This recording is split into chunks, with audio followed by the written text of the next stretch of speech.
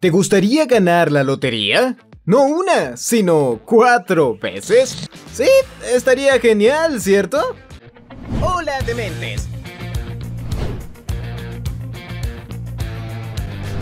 Bienvenidos a un nuevo video. Esto, esto es Dementes. Desde un hombre que se salvó de conocer a San Pedro de una bomba atómica hasta otro hombre que se salvó de conocer a San Pedro después de caer de un avión. Sí, suena inédito. F por San Pete, pero estas son las seis personas con mayor suerte del mundo. Así que ponte cómodo, soy el Doctor Mente y sin más preámbulos, ¡Empecemos! Número 6. Joan R. Ginther. Podemos decir que la suerte es relativa, eso sí, aunque nos referimos a la suerte con aquellos eventos afortunados que benefician de algún modo a una persona y que no se presenta en todos los casos, como por ejemplo nacer rico de cuna o fuera de Latinoamérica. Porque sí, también quiero que me saquen de aquí. Un caso alucinante de super suerte es la de Joan Ginther, una mujer de 63 años de edad de Texas, Estados Unidos, que, si bien ya nació en una zona del mundo bastante increíble, para el año 2010 llamó la atención de muchísimas personas, ya que se convirtió en la ganadora de una lotería de millones de dólares. Sí, eso es increíble, pero muchas personas lo han ganado, ¿cierto? Pero apuesto a que no como esta mujer, ya que no ha ganado uno, sino cuatro veces la lotería millonaria. Ahí la cosa cambia, ¿cierto? Primero ganó 5.4 millones de dólares, luego una década más tarde ganó 2 millones de dólares, para luego de dos años hacerse con el premio de 3 millones y en el verano del año 2010 ganó un premio mayor de 10 millones de dólares americanos. ¡Diablos, señorita! Eh, ¿Me puede dar un poquito? Por si lo piensas, aunque no es algo impresionante o inédito, solo para que te hagas una idea, las posibilidades de que esto haya sucedido se calculan en 1 en 18 septillones y una suerte como esta solo podría llegar una vez cada cuatrillón de años. Sin lugar a dudas, la señora Ginther es toda una suertuda. Número 5. Anne Hodge Ok, muchas personas pueden decir que se salvaron de un accidente automovilístico, de un derrumbe, de una caída de un avión o incluso de haber sido atacados por un animal salvaje. Pero, ¿quién en su sano juicio puede afirmar que se salvó de un meteorito? ¿Quién? A ver, ¿quién? ¿Quién? Nadie.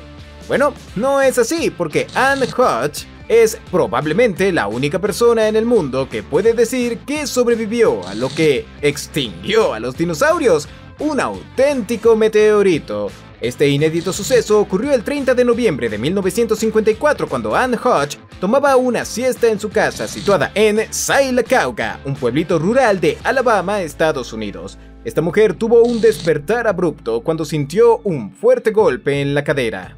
Cuando abrió los ojos, notó que su casa estaba llena de humo y escombros. ¿Qué podría haber ocurrido? Bueno, al momento, ella y su madre descubrieron un gran agujero en el techo de la casa y el aparato de radio destrozado. Después se percataron que el daño del techo y el aparato había sido causado por una roca negra del tamaño de un melón que entró por el techo, rebotó sobre la radio y luego golpeó a Anne. Cuando la policía y los bomberos atendieron a Anne, estaban extrañados con la gigantesca roca, así que llamaron a un geólogo quien trabajaba en una excavación cercana. Él fue quien identificó la roca y aseguró que era una lesión causada por un meteorito. Increíble, ¿cierto? Esto no aparece ni en una película de ficción porque nadie podría creérselo. Número 4. Bill Morgan. El turno ahora es de Bill Morgan, un australiano que en el año 1999 se convirtió en probablemente la persona más afortunada de todo el planeta. ¿Qué por qué? porque fue capaz de visitar a San Pedro y volver tras un accidente y acabar ganando la lotería no una, sino dos veces. Exacto, se salvó de la muerte y también ganó la lotería como recompensa. Eso sí que es fortuna. Todo esto ocurrió a finales de la década de los 90 y con 37 años de edad, el por entonces conductor de camiones sufrió un grave accidente de tráfico mientras trabajaba. Nuestro hombre sobrevivió en el hospital y comenzaría una fase de recuperación acompañada de una potente medicación. Días más tarde, los fármacos que estaba tomando le producen una reacción alérgica extrema que produjo que su corazón se detuviese. Tras estar clínicamente muerto durante 14 minutos, los médicos consiguen reanimarlo y poner en marcha su corazón. Sin embargo, se mantuvo en coma. Durante un tiempo, los familiares se lo mantuvieron conectado a unas máquinas que lo apoyaban a permanecer con vida. Pero los médicos le comentaron a los familiares que la posibilidad de que vuelva a despertar era demasiado baja, así que antes de desconectarlo, el señor Morgan sale del coma. Increíble, ¿no lo creen? Pero más tarde sorprende aún más, y es que después de despertar se encontraba completamente de salud, no tenía secuelas y no sufría daños cerebrales aparentes u otros problemas derivados de los fatales eventos que habían ocurrido desde el accidente. Él supo que era un hombre afortunado y lo retaron a que lo pusiera en práctica comprando un billete de lotería. Él lo hizo y asombrosamente ganó. Tiempo más tarde lo volvieron a retar. ¿Cuál fue el resultado? Pues que volviera a ganar. Eso sí que se considera un hombre con suerte. Número 3. Harrison O'Kane. Para el 26 de mayo del año 2013, a las 4.30 de la mañana, Harrison O'Kane, el cocinero de un remolcador de tanques de petróleo de la multinacional Chevron en el Atlántico sobre la delta de Niger, se levantó para ir al baño cuando se dio cuenta de lo que estaba ocurriendo. La embarcación tenía una tripulación de 12 personas y se dirigía a través de las turbulentas aguas agitadas de la costa de Nigeria, aunque este detalle sigue sin estar lo suficientemente claro. Todo parece indicar que una ola tremenda rompió la cuerda del remolque y le dio la vuelta a la embarcación. Como era demasiado temprano para que la tripulación y encontrara trabajo y estar atentos de lo ocurrido, todos se encontraban debajo de sus camarotes. Para aquellos lugares es muy peligroso, ya que piratas tienden a saquear y secuestrar este tipo de buques. Las medidas de seguridad indicaban que todos debían encerrarse en sus camarotes, un protocolo que terminó condenándolos, mientras que el único que estaba en un lugar distinto era O'Kane, quien, como ya dije, estaba en el baño. Gracias a esto encontró cómo sobrevivir gracias a que había encontrado una pequeña burbuja, una bolsa de aire que iba a ser su cruz y salvación. O'Kane permaneció durante tres días enteros encerrado debajo del agua, sobreviviendo únicamente con esa burbuja de aire, esperando a que el equipo de rescate llegara.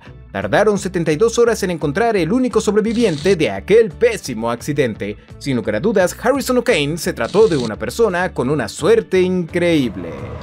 Número 2. Julian Koepke para finales de 1971, Julian Koukib logró salvarse de nada más y nada menos que un accidente de avión, que en realidad estalló en el aire y terminó cayendo en la jungla amazónica completamente sola, pues fue la única sobreviviente. Este impresionante e inédito suceso ocurrió en diciembre de aquel año, un día antes de Navidad, Julian apenas tenía 17 años de edad y después de la caída del avión se topó con 11 días perdida sola dentro de la peligrosa y hostil jungla, donde estaría vagando sin rumbo aparente, sola, herida, sin ningún alimento o esperanzas de poder salir con vida de aquella tremenda situación.